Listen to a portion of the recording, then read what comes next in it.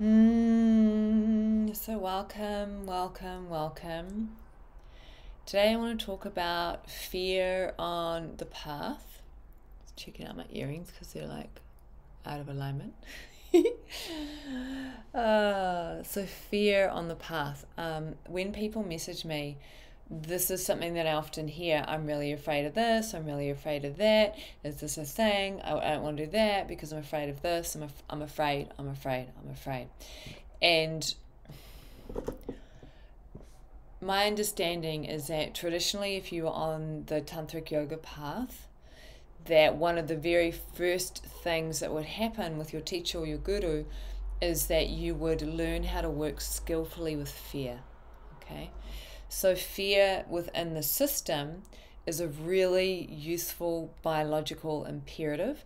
If a tiger comes into the room, it's going to automatically trigger fear in me, which will generate adrenaline, etc., etc., and I'll literally be able to react and move really quickly and ideally get out of probably go under the bed where the tiger couldn't get me, but take action to avoid being eaten as such, right?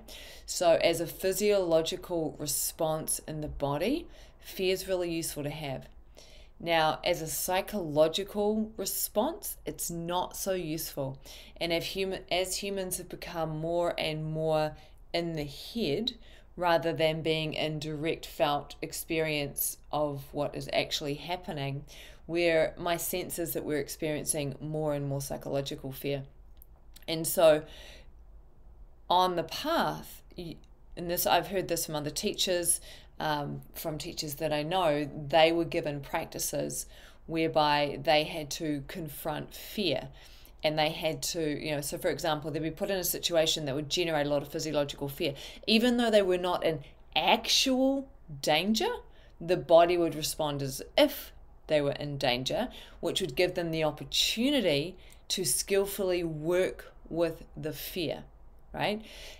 And what this means is when there's orientation to awareness, the fear that we experience is just arising and subsiding within the body, and it is just sensation. Now, for most people, when the fear gets triggered, there's total identification and it feels really, really scary, right? It feels awful. We hate it. We don't like it. And we want to do anything we can to not feel the fear because we're often afraid of feeling fear. Okay? And so on the path, when fear arises, right? You know, most people aren't working with a teacher that is giving them practices that will trigger fear so that they can deal with fear, right? So when people email me or message me and they're like, "Oh my god, I'm so afraid of this, I'm so afraid of that," I'm so I'm like, "Okay, so what might be really useful is to recognize that you've got psychological fear arising that is controlling you.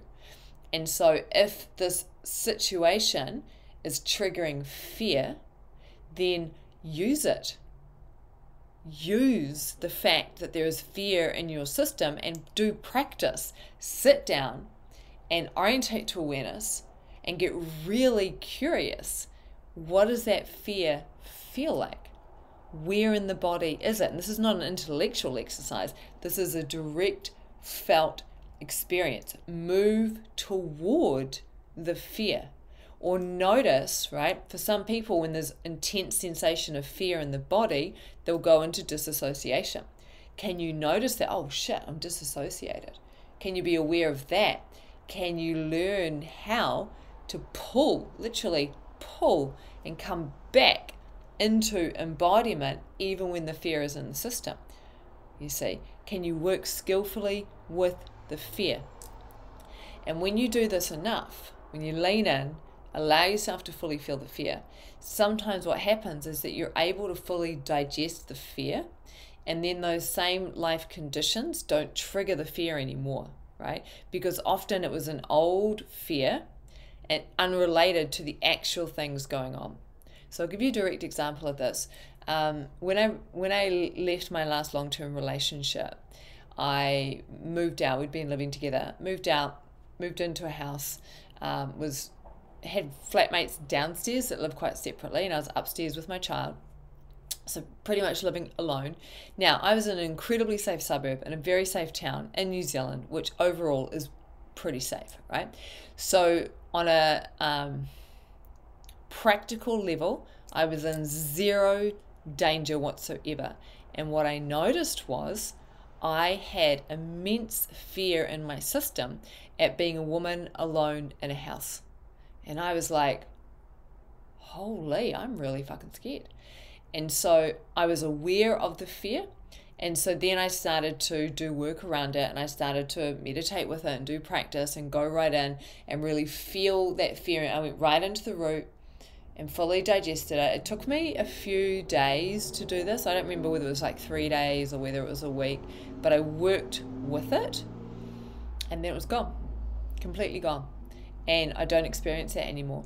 And when I self reflected, I began to realize that I had unconsciously felt that fear at other points in my life. And when I was unconsciously feeling that fear, it caused behaviors. I would basically do anything to not be alone, living in a house by myself type thing.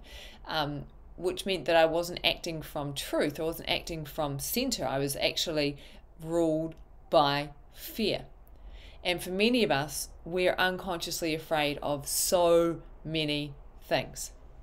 So if you're on the path and you find yourself experiencing fear, where you're not actually in physical danger, see this as an opportunity. See this as a golden opportunity to sit down and fully meet the fear. Because mastering fear is a key element of the spiritual path and the yogic traditions. And what that means is your body gets triggered into fear you stay orientated to awareness. The fear is just arising and subsiding within that which you are. And then because you're not possessed by the fear, nor identified with the fear, you're able to, and I've had this experience myself, it's possible to just, with the breath and desire and the will, begin to calm the nervous system down the psychological system and to fully come out of fear right? Now, there, there are stages to that. The first stage of mastering fear is to be aware that it's even there. The second stage might be to be able to stay in awareness even when there's a lot of fear in the system, right? The third stage might be willing, your own awareness now being willing to move toward the fear, go deeper into the fear, to fully feel the fear. And maybe the, the fourth stage might be the full full digestion of that fear, right? So that's like a broad response. People are like, oh, I'm afraid of going into psychosis again. It's like, okay, great.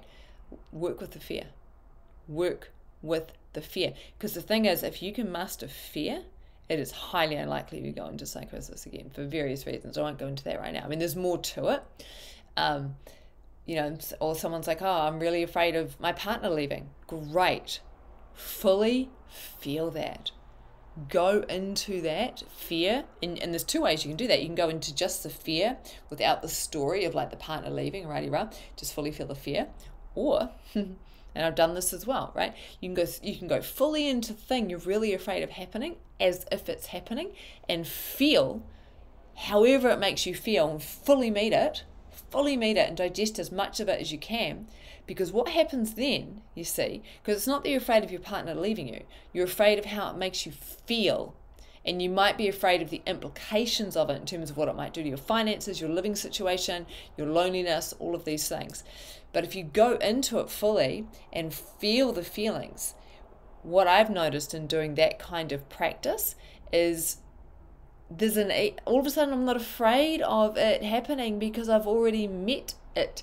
And because I'm not afraid of it happening, I can get really honest with myself and go, oh shit, this isn't in alignment. And actually, it's probably better if I let go of the attachment because attachment is ultimately caused by fear, you see.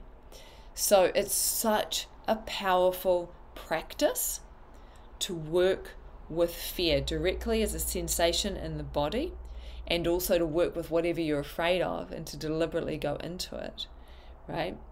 Uh, and this is the kind of work that I do with clients in session because if you haven't done these are strong, strong, strong practices, right? So if you haven't done these kind of practices before, like meeting fear, it can be really beneficial to be in a space where you're being held by somebody else, right? So my nervous system is merging, attuning, like you can attune to mine, and so that helps with being able to actually digest whatever's there. Um, it's just just strong practice, strong practice. So this is an offering to all of you out there that are dealing with fear. Just, uh, I guess you could call it a view teaching. Here's a way to perceive it. Here's a way to look at it. Here's a way that you can actually work with it skillfully in a practice. Um, if you have any questions about it, drop a comment down below, and I'm really responsive on the comments. I like to engage with the community here. Um, yeah, my name's Kara-Leah, and may you no longer be afraid of fear. May you no longer be afraid of fear. Blessings on the goddess.